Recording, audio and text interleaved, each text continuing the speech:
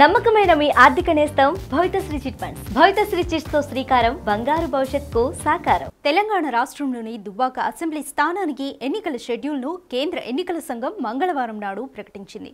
Dubbaka MLA Solipeta Ramalinga Reddy ఈ ఏడాది August ఐదవ తేదీన అనారోగ్యంతో మరణించారు.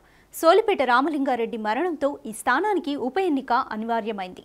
ఈ స్థానానికి అక్టోబర్ తొమ్మిదవ తేదీన ఎన్నికల నోటిఫికేషన్ విడుదల చేయనున్నారు. నామినేషన్ల దాఖలకు అక్టోబర్ పదహారవ తేదీ చివరిగా నిర్ణయించారు. నామినేషన్ల స్క్యూటినీని అక్టోబర్ పదిహేడవ తేదీన నిర్వహిస్తారు. నామినేషన్ల ఉపసంహరణకు అక్టోబర్ పంతొమ్మిది చివరి తేదీ. నవంబర్ మూడున పోలింగ్ నిర్వహిస్తారు. నవంబర్ పదవ తేదీన ఓట్ల లెక్కింపు చేస్తారు. నవంబర్ పన్నెండవ తేదీలోపుగా ఎన్నికల ప్రక్రియను పూర్తి చేయాలని ఈసీ ఆదేశాలు జారీ చేసింది. టీఆర్ఎస్ అభ్యర్థిగా సోలిపేట రామలింగారెడ్డి సతీమణిని ఈ స్థానం నుండి బరిలోకి దింపే అవకాశం ఉంది. కాంగ్రెస్ బీజేపీ నేతలు కూడా ఈ స్థానం నుండి పోటీ చేయనున్నాయి. బీజేపీ నుండి రఘునందన్ రావు పోటీకి సిద్ధమయ్యారు. కాంగ్రెస్ పార్టీ కూడా అభ్యర్థి ఎంపిక కోసం కసరత్తు చేస్తోంది. తెలంగాణలోని దుబ్బాకతో పాటు దేశంలోని యాభై ఆరు అసెంబ్లీ స్థానాల్లో ఉప ఎన్నికలు నిర్వహించనున్నారు.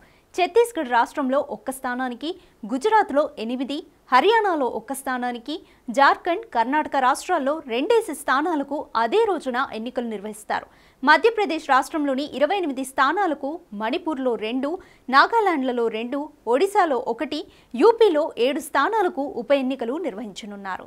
మన టాప్ తెలుగు టీవీ షేర్ చాట్లో అలాగే డైలీ హండ్ న్యూస్ హ్యాప్స్లో కూడా ఉంది. ఫాలో అవ్వండి. ఇంతకీ మా ఛానల్ సబ్స్క్రైబ్ చేసుకుంటారుగా? గంట కొట్టడం మాత్రం మర్చిపోవద్దు Hello guys, this is Vinay Kuya. Hi, నేను మీ Sonakshi Varma Hi, this is Avantika. This is Daystar Gopal. please uh, like, share, and subscribe to please subscribe it Please subscribe to Please subscribe to like, share, and subscribe to Top Telugu TV.